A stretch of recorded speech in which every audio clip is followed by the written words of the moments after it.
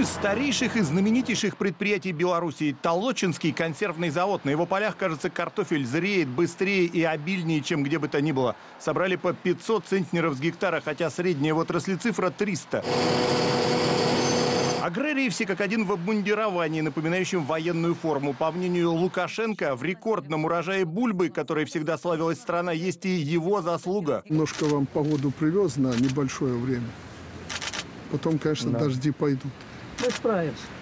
С этим народом не справиться нельзя. Все Если, справимся. если бы у нас и в Минске такой народ был, мы бы самыми богатыми были. Да. А так те мордовороты ходят по Минску, а кушать-то хотят. Лукашенко так называет тех, кто уже несколько месяцев протестует на минских улицах, перекрывая автомобильное движение и раздражая местных жителей. Я дома нормально жить не могу, вы здесь орете. Многие заметили, белорусские власти идут навстречу, но протест становится все более радикальным. Стоило Александру Лукашенко встретиться с арестованными представителями оппозиции в Минском следственном изоляторе и впервые за четыре месяца разрешить заключенному Тихановскому поговорить с женой по телефону, Ну, надо как-то жестче быть.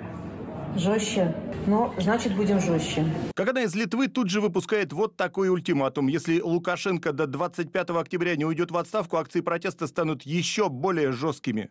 Была в стрессе и плохо помнит, что произошло. Это о женщине, которая на демонстрации укусила милиционера. Это был глупый поступок, абсолютно нерациональный, абсолютно, но в то же время не имеющий под собой политической подоплеки. Автозаки с задержанными на минских улицах теперь вот так блокируют в потоке машин. И милиция отвечает тем же, останавливая и избивая водителей. Выскочили 10 человек с дубинами в черных костюмах, разбили окно мне машину, вытянули меня, начали избивать. Точно так же прямо на дороге забрали владельца цветочного магазина Максима Хорошина, который бесплатно бил? раздаривал букеты протестующим. Кто бил, кто бил? Максим, говори, ну старайся сказать что-нибудь.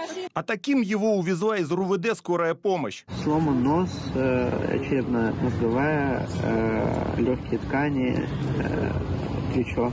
Чаще всего арестанты проводят в районном управлении милиции ночь, а на утро их выпускают. Но и эти несколько часов соратники по оппозиции не спят. Вот на кадрах с камеры видеонаблюдения неизвестный бросает в машину, стоящую у здания РУВД, коктейль Молотова. На этот раз пожар удалось погасить.